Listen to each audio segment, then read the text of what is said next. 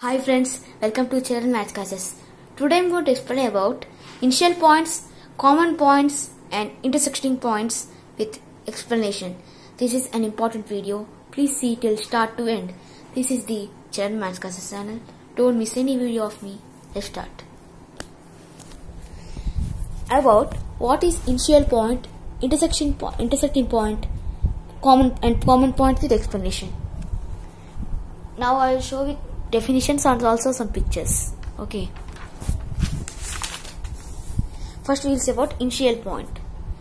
Initial point definition. A point where two or more rays start together. If you don't know about rays, in last videos are about lines, line segments and rays. You can see my last video and know about those three. See means a point where two or more rays start together it's a point that two or more rays these are the rays start together. Here they are started together. Two or more here it is two and here are three. That's why they are starting together here. That's why they are it is an initial point of these two. Here of i know you know angles. I think you know angles. Here the point of here is initial point here O and Q I named them O and Q and initial points these two are initial points. Here O and Q are initial points. See here. And intersecting points. Now you'll see the definition for intersecting point.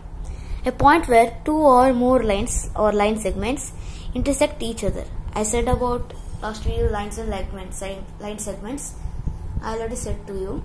You can see and know about them see these are the lines or line segments. See these are the lines and these are the line segments.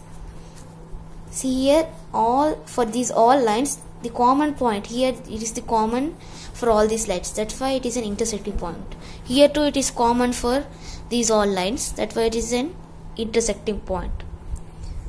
Now we will know about common point. A point where two or more rays start or two or more lines or line segments intersect each other. Means these two it's common for both initial intersecting points. Common point means it's both. And mix those these two it can be common. This is also a common point. This is also a common point. These two mixes only we get common point. It's common for both initial and intersecting points. This is an important topic. I think who have not seen my last video you cannot uh, understand this first you see the last my last video and you can understand this topic. Friends do you like my explanation? Then please like and share. And if you are watching my channel first time then please subscribe. And don't forget to comment. Friends this is an important topic. For more videos see Charan Maths Classes channel. Thank you friends. Bye bye this is an educational channel.